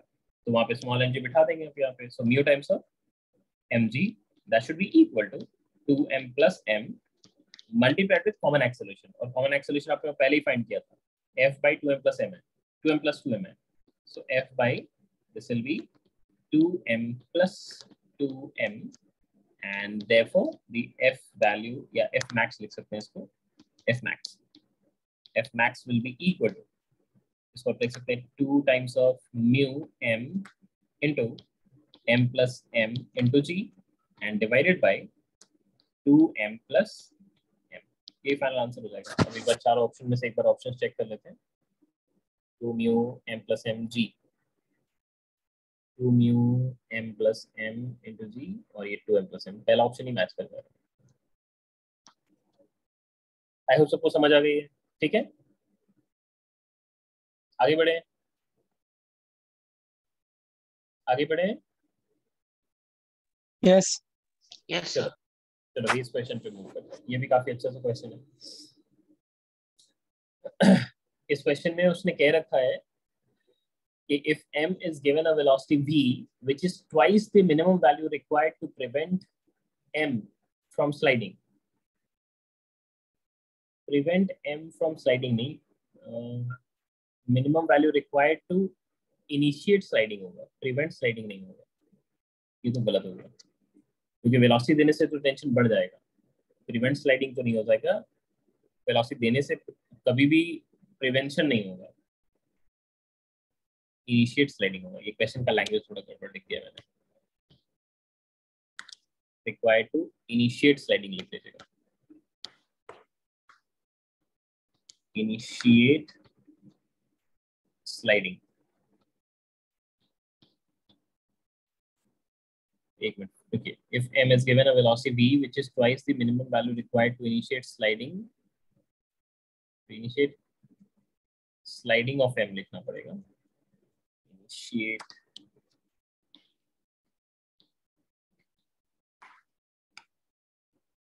sliding of m ठीक है अभी उसके बाद उसने पूछा है फाइंड एक्सेलेरेशन ऑफ़ एम अब परफेक्ट है अब करते हैं इसमें क्या क्वेश्चन है देखो इसमें अगर आप वेलोसिटी दोगे तो पक्का इसका टेंशन बढ़ेगा। क्यों बढ़ेगा? अगर मान लेते हैं कि मैंने मिनिमम वेलोसिटी को वी नॉट दे रखा है, ठीक है? दिस इज़ मिनिमम वेलोसिटी जो उसने कह रखा है। पहले मिनिमम ही तो निकालना पड़ेगा, उसके बाद उसको ट्वाइस देंगे ना। तो मिनिमम वेलोसिटी अगर वी नॉट है तो यहाँ का टेंशन अगर हम कैलकुलेट करते हैं तो कितनी आएगी? यहाँ से एम जी डाउनवर्ड्स है और टेंशन ऊपर की तरफ़ है। अगर मैं बोलूँ अभी, क्या ये ब्लॉक स्लाइड किया है? मिनिमम वेलोसिटी के लिए तो स्लाइड नहीं किया है ना। वो तो जस्ट अबाउट टू स्लाइड वाले कंडीशन में होगा। तो इसीलिए ये रोप जो होगा, वो क्या होगा? आपका इक्विलिब्रियम में हैंग कर रहा होगा। रोप आपकी इक्विलिब्रियम में हैंग कर रही है। तो अगर इक्विलिब्रियम में हैंग कर रही है मतलब पक्का है कि ऑब्जेक्ट का जो लोकस होगा, वो क्या होगा? आपका सर्कुलर होगा। तो ये ऐसे एक सर्कुलर पाथ में मूव करेगा। अगर सर्कुलर पाथ में मूव कर रहा है तो आपको पता है कि सेंटर की तरफ़ क्या होगा? एक सेंटीमीटर एक्सेलरेशन होगा और उसका रेडियस ऑफ़ कर्वेचर क्या होगा? आपका एग्जैक्टली सिंस ये ये वाली पॉइंट जो है, ये उसकी एक्सिस ऑफ़ रोटेशन की तरफ़ बिहेव करेगी। जब ये स्लाइडिंग नहीं हो रही है, तब की बात कर रहा हूँ। अगर स्लाइडिंग होगी, तब वो आपके इंस्टेंटेनियस सेंटर ऑफ़ कर्वेचर नहीं होगी, क्योंकि वो वाली पॉइंट तो खुद ही नीचे चली जाएगी। तो इसलिए वो वाले पॉइंट तब आप नहीं बोल पाएँगे। अभी स्लाइडिंग नहीं हो रही तो ये बात कह सकते हैं। तो अभी क्या है स्लाइडिंग नहीं हो रही है, इसलिए मैं कह रहा हूँ कि यहाँ पे इसके पास एक सेंटर की तरफ़ एक्सेलेशन होनी चाहिए। कितनी की? V naught square by L की होनी चाहिए।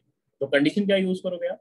The condition that will be used is T minus of M G that is the net force towards the centre and that has to be equal to m into v naught square divided by l तो अगर आप tension की value निकालोगे तो क्या लिखोगे आप? Mg plus M into v naught square by l हो जाएगा अब देखो, जैसे जैसे आप वेलोसिटी की वैल्यू को बढ़ाते जाओगे, वैसे वैसे क्या होगा? आपका टेंशन का वैल्यू भी इंक्रीज करता चलाएगा। तो इसलिए वहाँ पे पहले का लैंग्वेज थोड़ा सा गड़बड़ हो गया था वहाँ पे। तो टेंशन की वैल्यू आपको पता चल गई M G plus M V naught square by L हो गई है। एंड सिंस ये जस्ट अबाउट टू स्लाइड वाले कंडीशन में तो पक्का है यहाँ का जो टेंशन होगा, वो यहाँ पे लिमिटिंग फ्रिक्शन को जस्ट ओवरकम कर चुका होगा। तो लिमिटिंग फ्रिक्शन की वैल्यू कितनी लिखेंगे आप यहाँ पे? Mu times of capital M into G लिखेंगे। तो टेंशन की वैल्यू आपने एक तरफ़ से निकाला, पहले जो सर्कुलर मोशन है वहाँ से निकाला और दूसरा आपने कैपिटल वाले ब्लॉक से निकालना है ऑल्सो तो ये कैपिटल के लिए लिख रहे हैं। तो टेंशन की वैल्यू को हमने लिखा है limiting friction which is mu times of capital into G तो ये दोनों कंडीशन को जब आप यूज़ करोगे तो ये दोनों कंडीशन को यूज़ करो तो आपको दिख जाएगा कि M G should be equal to M sorry M G plus M V naught square by L this should be equal to mu times of capital M into G हो जाएगा। इसी को रीअरेंज करेंगे तो आपके पास V naught square by L की value is coming out to be mu times of capital M by small M minus of one into G ये value आ रही है चेक करो। एक बार देख लूँ। स्मॉल एम को पहले ही बाहर निकाल लिया डिवाइड कर दिया। ठीक है, और फिर अभी तो लेके गए ठीक है। तो यहाँ से आपको बेसिकली आपको V naught square by L की वैल्यू मिल चुकी है ठीक है? अब यहाँ से तो आप मिनिमम वेलोसिटी निकाल चुके हो ठीक है? You have already obtained the minimum velocity अब हमने क्या करना है? अब एज पर क्वेश्चन उसने क्या कह रखा है? उसने कह रखा है जो हमने वेलोसिटी दी है वो दोगुनी है जितनी मिनिमम वेलोसिटी रिक्वायर्ड थी उसको आ, या मैक्सिमम वेलोसिटी मिनिमम वेलोसिटी नहीं बोलना चाहिए। मैक्सिमम वेलोसिटी जो आप उसको दे सकते थे कि वो स्लाइड ना करे। मैक्सिमम वेलोसिटी लिखा था ना मैंने? ट्वाइस द नहीं नहीं ठीक है ठीक है। Minimum velocity required to initiate ठीक है। अभी हमने क्या किया यहाँ पे? अब मैं इस क्वेश्चन को एक बार रीड्रॉ कर रहा हूँ। क्योंकि अब स्लाइडिंग स्टार्ट हो रही है। स्लाइड स्टार्ट तो नहीं हो रही है तो काफ़ी स्टार्टिंग स्लाइडिंग में एक्सट्रीम केस भी निकल चुका है। तो अभी हमने क्या कर रखा है यहाँ पे? ये सरफेस दिखा रहे हैं। यहाँ पे हमारा वो ब्लॉक है, जिसकी मास को कैपिटल एम शो कर रखा है। और यहाँ पे ये स्ट्रिंग अटैच है इसके साथ। और यहाँ से एक और स्ट्रिंग लटक रही है। और इसको हमने जो वेलोसिटी दे रखी है, वो ट्वाइस ऑफ़ वी नॉट दे रखी है। क्योंकि वी नॉट आपकी मिनिमम वेलोसिटी थी। तो ये एम मास के पास जो वेलोसिटी है this velocity is two times of v naught ठीक है? नाउ इतना तो पक्का है कि अभी स्लाइडिंग स्टार्ट हो चुकी होगी। स्टार्टिंग इसकी स्लाइडिंग स्टार्ट हो जाएगी। This will start sliding now ये एक्सेलेरेट करना स्टार्ट हो जाएगा क्योंकि टेंशन बढ़ चुकी होगी। तो यहाँ पे अगर आप टेंशन टी दिखाते हो, जो भी टेंशन आप दिखाओगे, इसको टी डैश लिख लेते हैं, क्योंकि तो टेंशन टी नहीं रहेगा। और यहाँ पे पीछे की तरफ़ आप काइनेटिक फ्रिक्शन दिखाओगे, फिर से वापस से वही। तो ये आप लिख सकते हैं this is mu times of capital M into g तो ये एक्सेलरेशन अगर आ चुकी है तो पक्का है ये रोप भी क्या कर रहा होगा, आपका नीचे की तरफ़ एक्सेलरेट कर रहा होगा, उसी एक्सेलरेशन से। ये रोप की एक्सेलरेशन है विच विल बी ए आपको बात समझ आ रही है? आई होप आपको समझ आ रही है बात। ठीक है? अब देखो अगर रोप एक्सेलरेट कर रहा है तो ऑब्वियसली ये वाला जो पॉइंट होगा, ये वाला जो पॉइंट पहले इसके रिस्पेक्ट में देख रहे थे तो इसी के अबाउट आपका घूम रहा था वो, पूरा का पूरा बॉब तो यही, ये जो डॉट मैंने बड़ा सा मार्क कर रखा, वही उसका इंस्टेंटेनियस सेंटर ऑफ़ कर्वेचर था. बट अब ये इंस्टेंटेनियस सेंटर ऑफ़ कर्वेचर नहीं हुआ तो खुद ही नीचे की तरफ़ गिरता जा रहा है. बट हाँ एक चीज़ हम कर सकते हैं, किसी भी मूविंग चीज़ को अगर हम जाके उसी के ऊपर अपने फ्रेम को फिक्स कर लें तो सिचुएशन काफ़ी आसान सा दिखने लगता है. तो हम क्या करते हैं, अपने फ्रेम को यहीं पे सिचुएट कर लेते हैं, इसी जगह पे। मतलब ये जो रोप वाला पार्ट है, ये वाला रोप वाला जो पॉइंट है, उसी पॉइंट पे हम क्या कर रहे हैं, अपने आप को सिचुएट कर रहे हैं।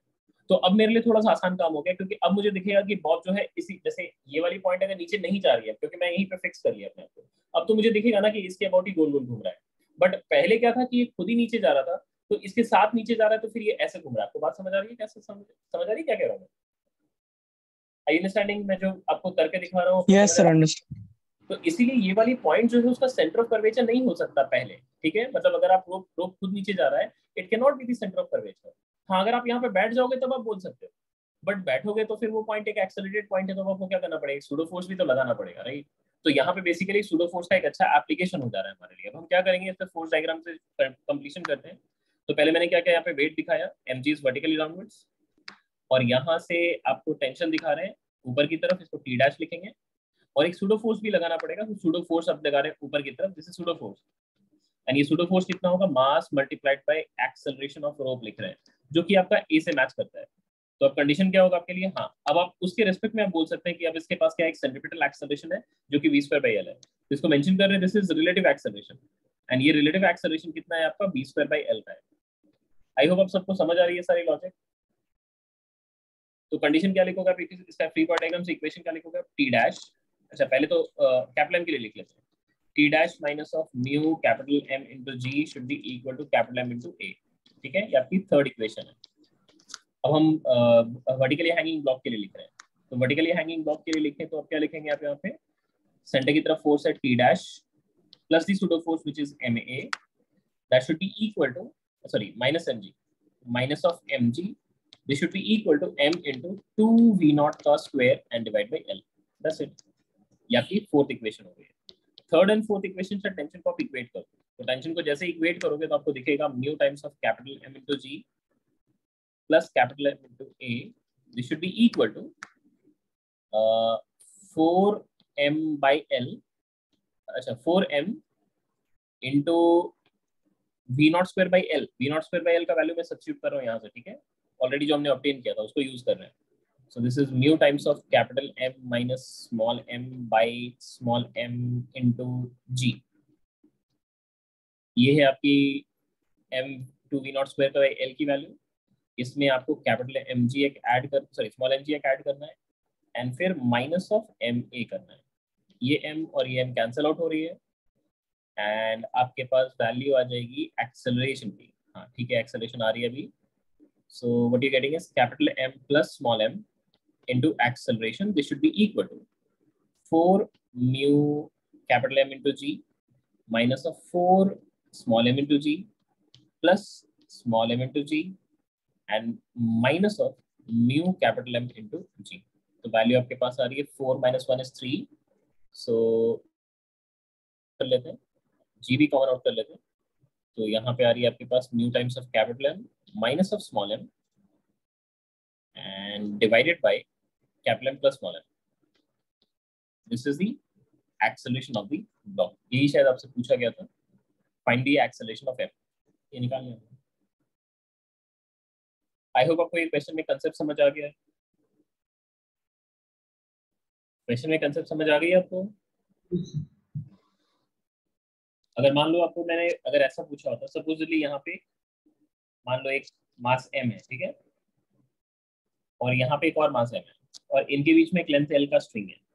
मैंने क्या किया इस मास को एक वेलोसिटी वी नॉट दे दिया perpendicular to length of string और मैंने पूछा आपसे यहाँ का टेंशन कितना होगा क्या आप बता सकते हैं टेंशन कितना होगा?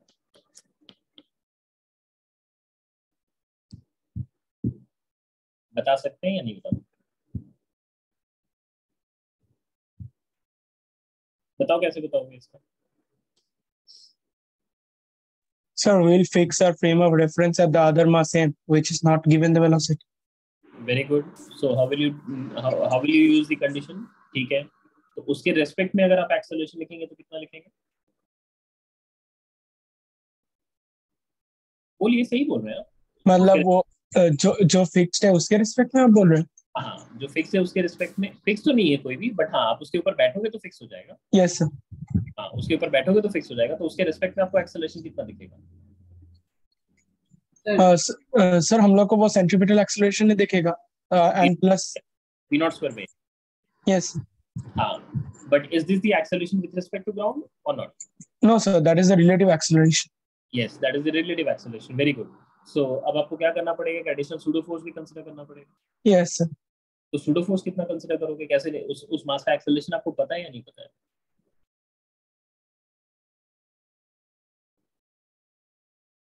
पता है। कैसे? टेंशन के टर्म यहाँ का टेंशन कैसे एक्सेलरेशन होगा ना? ये एक्सेलरेशन को अगर मैं a1 कह रहा हूँ तो कितना होगा? T by m होगा करेक्ट है? यस राइट तो इस इस मास पे आप सूडो फोर्स किधर लगाओगे? आप लेफ़्ट की तरफ़। तो सूडो फोर्स कितना आएगा? M into a which will be t only right? तो net force towards the centre with basically कितना हो गया? 2t हो गया। दिख रहा है आपको? तो 2t should be equal to क्या लिखेंगे? M into relative acceleration which is v naught square by l. समझ आई तो आपको टेंशन मिल गया देखो यहाँ से। टेंशन की वैल्यू कितनी आ रही है? M v naught square by two l आ रही है। दिख रही है? यस यस ठीक है। अगर आपसे पूछा होता उस मास के लिए जो जिस मास को हमने प्रोजेक्ट किया है उसका रेडियस ऑफ़ कर्वेचर कितना है पाथ का? तो कैसे निकाल?